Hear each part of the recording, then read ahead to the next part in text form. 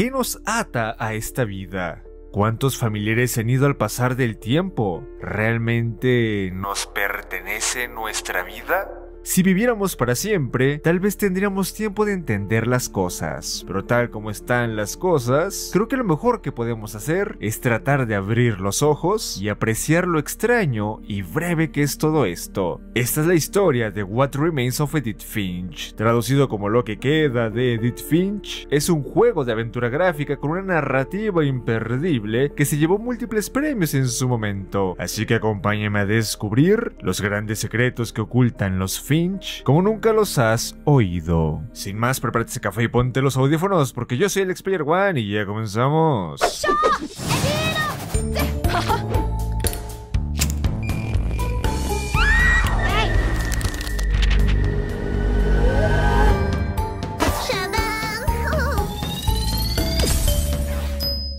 Nota, las historias de cada Finch serán narradas en el orden del juego. Si sientes que de repente pues se te olvida un nombre o te pierdes, no te preocupes. Al final pondré el árbol genealógico en orden de acontecimientos.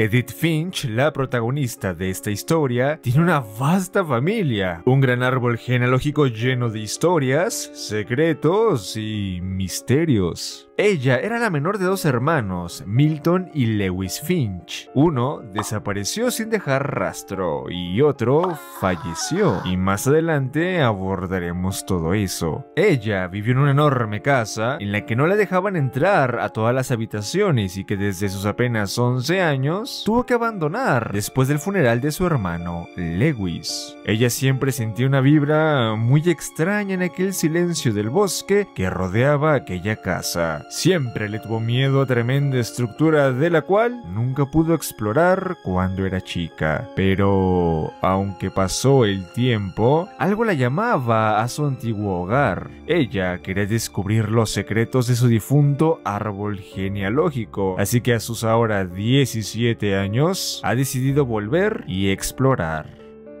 Edith a lo largo de su travesía anotará cada rasgo, recuerdo y dato en un gran diario para poder recopilar lo que alguna vez fue su familia y así mantener su memoria. Antes de entrar a la casa, ella menciona que su madre Dawn le heredó la propiedad antes de morir, además de esta llave, una que no abre la puerta principal ni nada, así que vete tú a saber qué abre, pero seguro más adelante nos enteramos, o yo más bien se los voy a revelar al final. Al adentrarse un poco en la casa, curiosamente no siente miedo, sino realmente se siente como en casa. Cada habitación está sellada, ya que en medio del alboroto después del funeral, Dawn quiso cerrar todo y marcharse, pero su bisabuela llamada Edie puso mirillas en protesta de aquella decisión, como si la madre ocultara algo que la bisabuela quería que se supiera.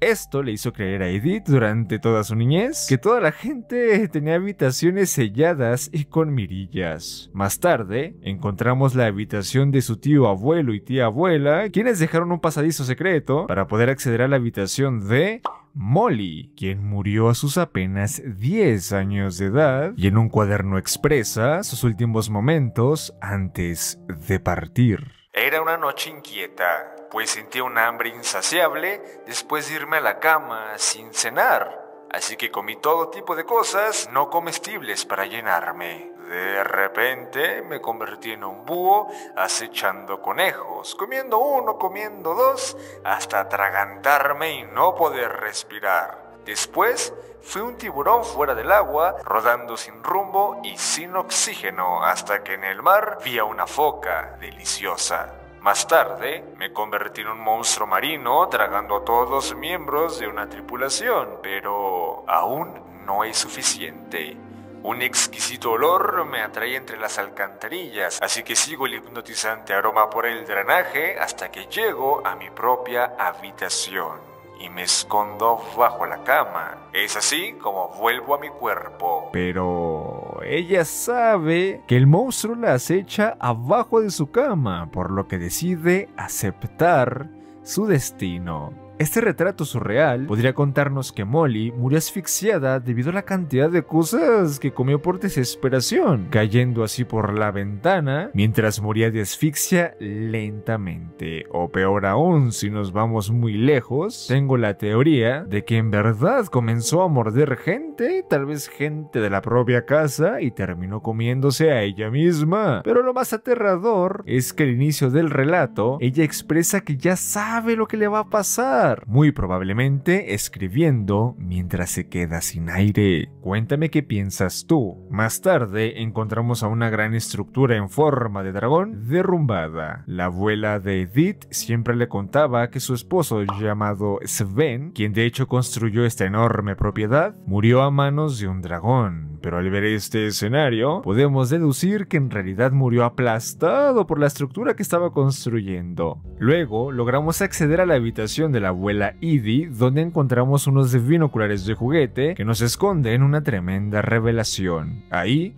se habla de Odín, el tatarabuelo de Edith. Él murió a los 57 años y en una fotografía podemos observarlo en un cementerio y ese momento es justo cuando enterró a su recién nacido hijo Johan y su esposa Ingeborg, que murieron en pleno parto. Desde esos entonces, que son los primeros en aparecer en el árbol genealógico, son los más viejos, ya se creía que Odín cargaba con una maldición en su linaje, así que en 1937, a sus 57 años, abandonó Noruega para viajar a Washington en barco, llevándose toda la casota, junto a su hija Edie, que es la abuela, y ella ya estaba casada con Sven, juntos tuvieron a Molly, y para esos entonces estaba recién nacida. Pero de repente, el hizo sucumbir a Odín, así que murió. Si vas juntando los acontecimientos de Sven, Molly y los hermanos de Edith que aún no te cuento, pues algo extraño está atormentando a esta familia. Cuéntame hasta ahora qué piensas que es. ¿Es el destino? ¿Son coincidencias? ¿O lo que murmuraba la gente desde esos tiempos de Odín, que tienen una maldición? Más tarde accedemos a otro pasadizo y ahí conocemos la habitación de Calvin, quien tenía un hermano gemelo llamado Sam, y este fue abuelo de Edith. Sam murió a los 33 años, pero Calvin a los 11, por lo que obviamente él nunca quería hablar de su hermano por lo joven que murió. ¿Pero por qué? En su habitación podemos ver que Calvin estaba obsesionado con los temas espaciales, pero sobre todo quería volar tocar el cielo aunque sea una vez. Así que desde lejos se notaba que era alguien con una imaginación muy activa. En la habitación hay una carta escrita por su hermano que nos cuenta un poco sobre aquel trágico día y dice así. Lo que recuerdo es que cuando él tomaba una decisión, no había vuelta atrás. En el funeral de nuestra hermana Bárbara, de quien hablaremos más adelante, prometimos nunca volver a tener miedo. Creo que él siempre quiso volar, así que fue cuando por fin se decidió a hacerlo. Yo le dije que girar era imposible. Quizá si no le hubiera dicho eso, o tal vez si el viento no se hubiera levantado, quizá él seguiría con vida. Pero lo dudo, creo que él ya lo había decidido. Así que esto es lo que quería recordar de mi hermano, el día que decidió volar.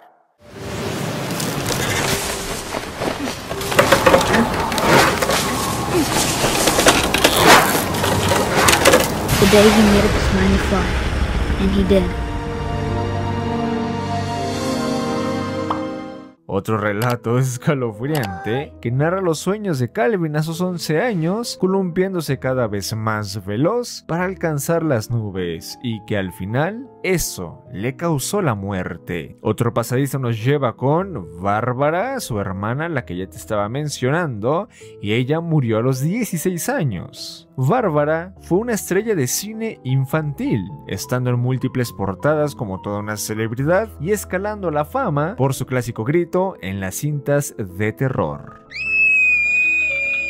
Ahí, Edith encuentra un cómic que relata el suceso de la muerte de Bárbara y dice así, agárrate fuerte. Bárbara era famosa por su gran grito, pero cuando llegó a los 16, su estrellato se apagó. Afortunadamente, un día la llamaron para recrear su famoso grito en una convención de fans de películas de horror, por lo que estuvo practicando, pero su grito era terrible. De repente, un grito estruendoso interrumpió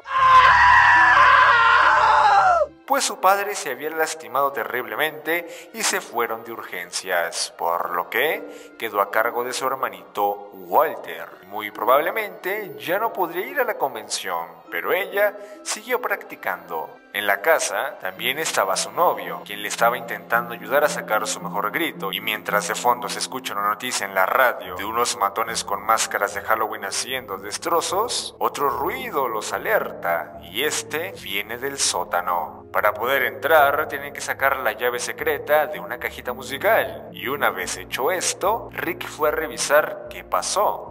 Pasaron 20 minutos y él no volvía, así que Bárbara fue a revisar si todo andaba bien, y aunque decidió no hablar para nada para tratar de oírlo, el silencio era sepulcral.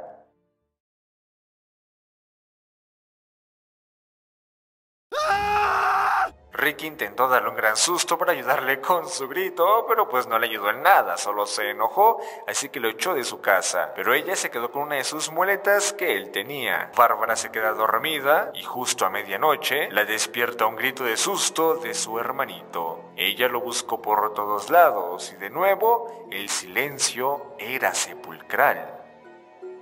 Mientras tanto, las noticias hacen presentes de nuevo, anunciando que uno de los matones lleva un gran gancho y este aparece frente a ella. Bárbara se defiende como puede con la muleta de su novio e intenta esconderse y cuando logra atrapar al sujeto de espaldas, lo tira un piso abajo. Pareciera que todo había terminado, pero de repente alguien llama a la puerta. Ella va cuando está por abrir, muchos murmullos comienzan a escucharse, pero estos vienen de dentro de la casa. Es entonces que múltiples monstruos de películas en las que ella participó de niña están dentro de su casa celebrando. Y como a ella le gustaba mucho la atención, y recientemente ya no la tenía, pues ella está feliz, muy feliz aunque esos monstruos no están celebrando, pues comienzan a acercarse a ella lentamente. Y Bárbara ya sabe con qué intenciones vienen estas crueles personas, así que cuando se abalanzan contra ella, deja relucir su mejor grito, muriendo así como vivió sus días, con un magnífico grito final.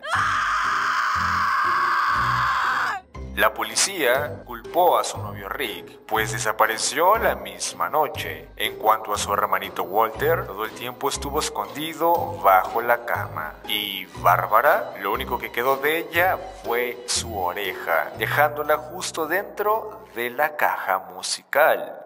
Las historias de huevo cada vez son más crudas y se nos cuenta como Bárbara no pudo darse cuenta de que estos sujetos eran los matones de la radio por querer atención y cuando se dio cuenta pues ya era demasiado tarde, por eso soltó ese último grito como un adiós, un cierre a su carrera y a su vida, haciendo lo que más amaba. Para este punto, Edith dice, lo único que sé que tienen en común estas historias familiares es que ninguno de nosotros llega de demasiado lejos. Ahora tenemos acceso al dichoso sótano, uno en el que después de la tragedia de Bárbara, su hermano Walter se encerró durante un largo tiempo. Él murió a los 53 años y dejó una nota para poder saber de sus últimos días y dicta lo siguiente. Adiós a todos. No puedo creer que llevo 30 años encerrado aquí abajo. El primer día que sentí los temblores, pensé que no duraría ni una semana, pero lo superé y me marqué una rutina para conservar la cordura, tener un horario, vivir para el hoy. Siempre esperaba morir al día siguiente, pero si uno espera lo suficiente, acaba acostumbrándose a todo. Hasta un monstruo del otro lado de la puerta te parece simpático. De repente, un día todo se detuvo. Fuera lo que fuera aquello, desapareció. Quizá se cansó de esperar, o tal vez me cansé de tener miedo. Es entonces que después de una semana muy larga para él, ya en 2005, imagínate, decidió salir y enfrentar su realidad. Sé que está afuera, en algún lugar. Aquello que mató a Bárbara y a Molly y a Calvin.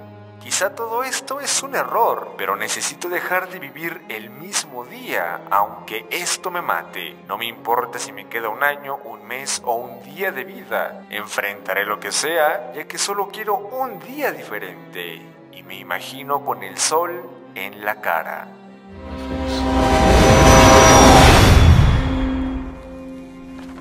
¿Qué está pasando aquí? Carajo, es que cada vez es más triste la forma en que dejan este mundo. Pero, ¿qué me dirías si te digo que no murió por culpa de un tren? Al explorar la misma vía, notamos que esta desemboca en el mar. Y aunque para el punto en que exploramos la casa ya pasaron 12 años desde la muerte de Walter, no creo que existiera una vía en esa dirección, no tiene sentido. Por lo que, lo más probable es que perdió la cordura y se arrojó al mar. Esto lo refuerza un altar que le pusieron a su nombre, en el que al igual que el sótano, tiene trenes porque le gustaban mucho. Y pues imagínate, esto lo explica todo, porque nadie que murió a manos de un tren le van a poner un tren, eso sería horrible. Cae la noche y Edith comienza a deducir lo que pues ya veníamos sospechando, que las muertes que ha estado leyendo sobre sus familiares no son más que metáforas que ocultan pues una gran parte de la verdad, o más bien digamos que, que la maquilla, ¿no? No van a ser crudos, son como cuentos, por lo que les es difícil saber todos los secretos. Pero como ya te diste cuenta, en este video hemos intentado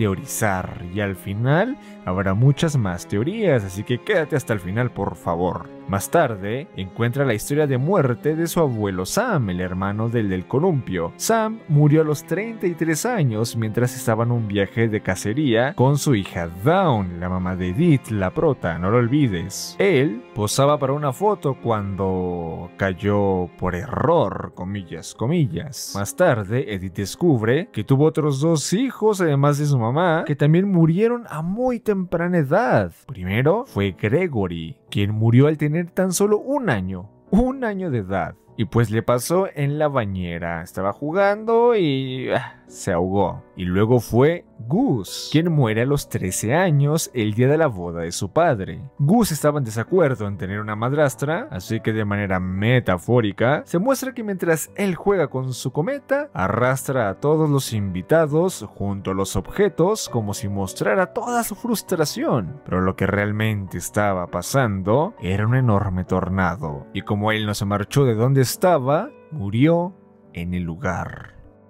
Después de tanta tragedia, Dawn se hizo bastante devota a la religión y tiempito después conoció a Sanjay o Sanjay, no sé cómo se pronuncia, con quien viajó bastante y tuvo tres hijos, Lewis, Milton y Edith. Lastimosamente, en 2002, Sanjay murió, pues la muerte los acecha a todos mientras esté cerca de un Finch. No, no es cierto, pero aún así, eso parece, ¿no? O sea, ¿qué está pasando? Cuando Dan vuelve a la casota estando de luto, se dejan indicios de que decidió educar a sus propios hijos ahí mismo por miedo a la muerte. Aún así, les enseñó sobre ciencia y otras cosas para tratar de refutar la idea de que los Finch cargan una maldición, e incluso en un pizarrón se encuentra la historia de la familia con un encabezado que dice Nuestra familia, realidad o ficción. Ojo ahí. Más tarde nos encontramos con una enorme torre que guarda el secreto de Milton, de quien ya no se supo nada desde 2003 a sus 10 años, y que si viviera mientras Edith explora la casa tendría 25 años. Adentro encontramos un flipbook o filioscopio titulado Milton Finch en El pincel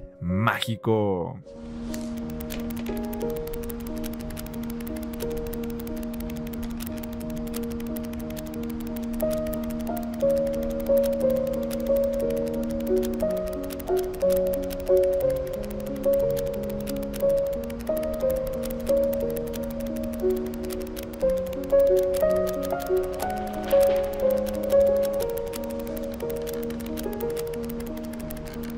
Este emotivo y triste momento nos muestra lo enormemente creativo que era Milton. Le gustaba mucho crear y explorar, pues en cada pasadizo al que hemos ido, siempre estaba su nombre. Él estuvo en todos lados y en ninguno. Al final, se muestra que con el pincel mágico que cobró vida, se pintó una puerta, una salida para escapar de esta realidad a su mundo ideal, lo que refleja su muerte. Uno puede que haya muerto atrapado en la casa, ya que Edith menciona que la casa simplemente se lo tragó porque nunca lo volvieron a ver y tiene sentido que dibujó una puerta a modo de ah, algún día voy a poder salir y nunca salió. O puede que haya tenido problemas que no le contaba a nadie más y eso lo orilló pues a darse de baja del sistema de la vida, como digo yo, para que YouTube no se enoje. Pero la tragedia continúa, pues investigando en la habitación de su otro hermano, Lewis, ahora sí vamos a hablar de él, descubrimos que tenía varios padecimientos psiquiátricos y que consumía sustancias. Lewis murió en 2010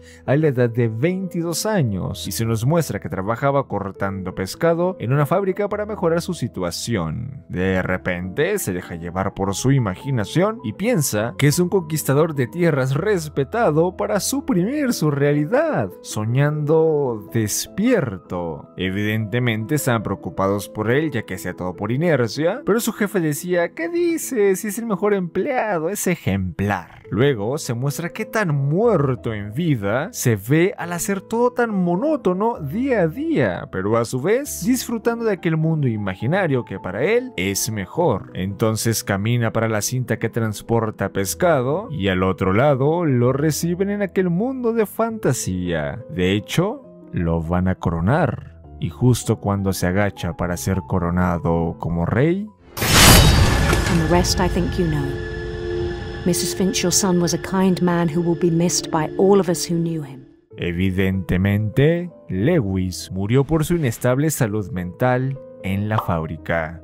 Un final bastante, bastante siniestro. Lo último que a Edith le queda por explorar en esta enorme casa es su propia habitación y expresa que es momento de contar lo que sucedió aquella última noche que decidieron abandonar la casa, por lo que, amigo mío, hemos llegado al tramo final.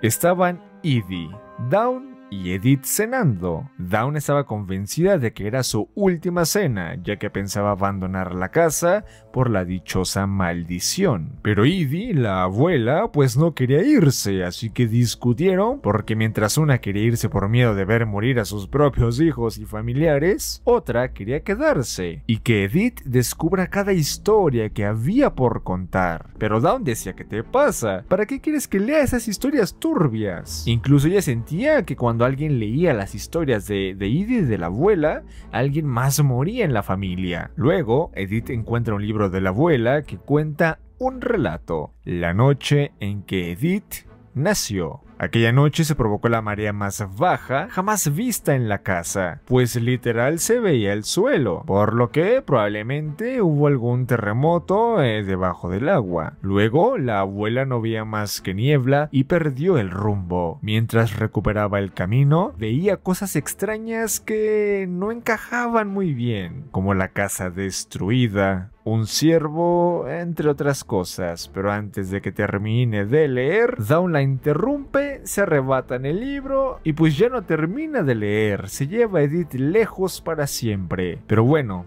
hablando del relato, revela sutilmente que Edie podía ver de alguna manera los eventos y tragedias de su familia, un conglomerado de elementos que le revelaban la verdad, y ella las escribía a manera de cuentos. Dawn programó que una camioneta se llevara a Edie la mañana siguiente a un asilo, pero los trabajadores la encontraron muerta al día siguiente. Dawn y Edith se alejaron hacia una nueva vida, pero al pasar los años, de repente, su mamá comenzó a enfermar rápidamente, y aunque a veces mejoraba, un día dejó de hacerlo. Y es así que Edith se quedó completamente sola. La última de los Finch viva. Pero hay un detalle que no te conté y es momento de que lo sepas. Edith, a sus 17 años cuando fue a explorar y documentar todo el legado de su familia, estaba embarazada. De hecho, podemos ver un poquito por aquí.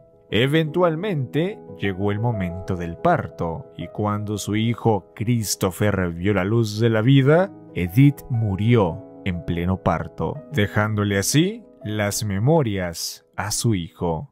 Si viviéramos para siempre, tal vez tendríamos tiempo para entender las cosas, pero tal como están las cosas, creo que lo mejor que podemos hacer es tratar de abrir los ojos y apreciar lo extraño y breve que es todo esto. Al final, ella le escribe que no quiere que esté triste porque ella partió, sino que se sorprende de que alguno de ellos pudo estar aquí alguna vez. La llave que su madre le dio junto a la casa fue la que abrió todos los pasadizos, pues después de todo quiso que su hija viera la verdad, o al menos aquellos cuentos con metáforas para que ella sacara su propia conclusión. Y podemos concluir que el verdadero monstruo que acababa con los Finch y se los llevaba de uno en uno no era más que el miedo. Vivían preocupados por la muerte y que hay más allá de ella, descuidando sus vidas y convirtiendo en realidad la desgracia y supuesta maldición que tenían,